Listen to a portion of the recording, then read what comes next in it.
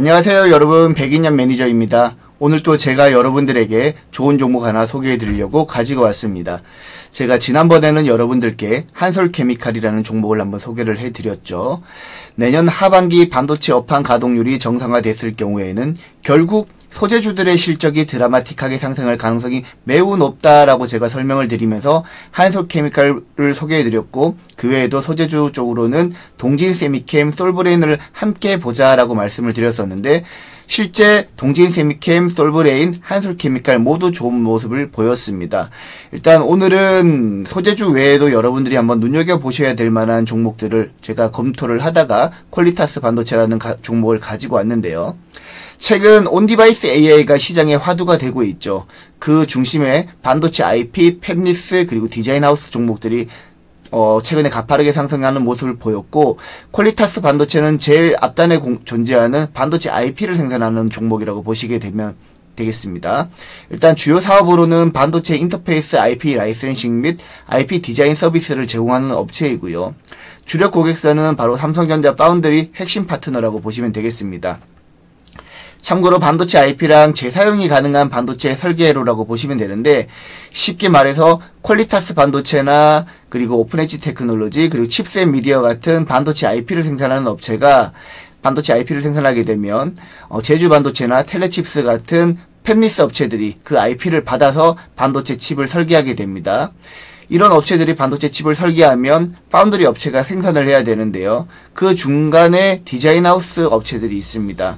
디자인 하우스 업체들은 우리 국내 대표적으로 AD 테크놀로지와 가온 칩스 그리고 에이직랜드 등이 있는데 어 일단 최근에 요 IP랑 fabless 그리고 디자인하우스 관련 종목들이 부각되고 있기 때문에 여러분들이 한번 스터디 해 보실 필요가 있고 그리고 그 중에서 가장 최근 주가 흐름이 드라마틱하게 있었, 움직였던 퀄리타스 반도체에 대해서 여러분들에게 한번 스터디 차원에서 제가 공부 차원에서 여러분들에게 소개를 해 드리려고 합니다. 일단 퀄리타스 반도체는 매출 비중이 MIPI 즉 모바일 AP와 카메라를 연결하는 MIPI 매출 비중이 20%이고요.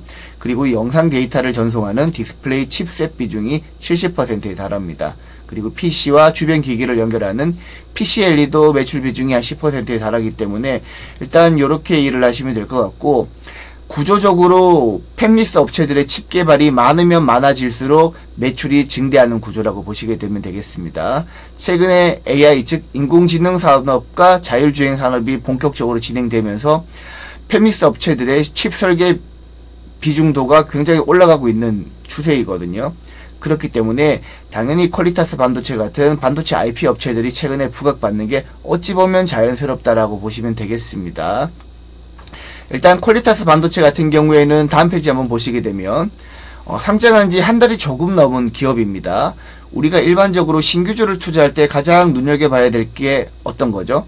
바로 보호 예수 물량이 언제 풀리느냐 이 부분을 가장 집중적으로 고민을 하셔야 되는데 일단 퀄리타스 반도체와 NH투자증권 리서치 본부에서 나온 자료를 토대로 보면 상장 후 1개월 이후에 벤처 금융사 등에서 90만 1897주가 풀렸고요. 그리고 기타 주주 26만 1504주도 상장 후 1개월 이후에 풀렸습니다. 지금 제가 퀄리타스 반도체의 어, 상장이 1개월 조금 넘었다라고 말씀드렸기 때문에 이 해당 물량 같은 경우에는 이미 조금씩 시장에 노출됐거나 아니면 전부 다 풀렸다라고 보시면 되겠습니다. 그리고 바로 다음 우리가 우려해야 되는 보유예수 물량은 3개월 이후에 보유예수 물량인데요. 지금 벤처금융사 등 쪽에서 이제 3개월 이후에 52만 609주가 출회될 예정이고요. 그리고 기타 주주 물량 같은 경우에도 16만 500, 16만 1,504주가 3개월 후에 풀릴 예정입니다. 그리고 상장 주선인 의무 인수분 같은 경우에도 5만 4천 주인데 요거 같은 경우에도 3개월 이후에 풀릴 예정입니다. 일단 우리가 고민을 해야 되겠죠. 지금 보호예수 물량이 일단 1개월 분은 어느 정도 해소가 됐기 때문에 신경을 안 써도 되고 3개월 이후 물량이 지금 현재 대략적으로 어, 한 70만 주 정도가 되겠죠. 70만 주 조금 넘을 것 같은데요. 어, 그 물량이 최근 퀄리타스 반도체 거래량을 봤을 때 부담스러운 수준인가라고 제가 질문을 한다라면 아니라고 저는 말씀드리고 싶어요. 왜냐하면 이 보호 예수 물량 70만 주보다 최근 on-device AI 관련해 가지고 시장이 너무 뜨겁기 때문에 물론 이제 최근 반도체 관련 종목들이 일부 조정을 받으면서 on-device AI 관련 종목 중에서도 제주 반도체를 제외하고는 나머지 대부분의 종목들은 조정을 받는 모습이었거든요. 하지만 아직까지 저는 내년 갤럭시 S24가 내년 초에 출시가 되죠. 거기에 on-device AI가 탑재될 예정이기 때문에 그때까지는 지속적으로 시장에 화두가 되지 않을까라고 저는 생각을 하고 있습니다. 따라서 퀄리타스 반도체 같은 반도체 IP, fabless 그리고 design house 업체들 같은 경우에는 적어도 내년 초까지 그리고 on-device AI가 시장의 화두가 되는 한 지속적으로 여러분들이 관심을 가지고 스터디를 해야 되는 종목이 아닐까라고 생각을 합니다. 따라서 지금 보호예수 물량은 여러분들이 투자하실 때 참고를 하시고 3개월 이후에 70만 주 정도 풀린다라는 부분은 참고하시되 일단 퀄리타스 반도체는 최근 신규주 움직임이 좋은 상황도 있고 그리고 반도체 IP를 생산하는 업체이기 때문에 on-device AI 관련 수혜주로 여러분들이 한번 스터디를 해 보셨으면 좋겠습니다. 물론 제가 말씀드리고 퀄리타스 반도체가 실제 안 갈 수도 있고 아니면 제가 예측한 대로 갈 수도 있지만 여러분들이 시장의 중심에서 벗어나지 않으려면 on-device AI 관련해서 스터디를 하셔야 되고 그 중심에 있는 퀄리타스 반도체도 함께 스터디를 해 보셨으면 좋겠습니다. 네, 오늘 영상이 마음에 드셨으면 여러분들 많이 많이 저 다음 주에도 제가 좋은 종목 소개해 드릴 테니까 많이 많이 저 찾아주시기 바랍니다.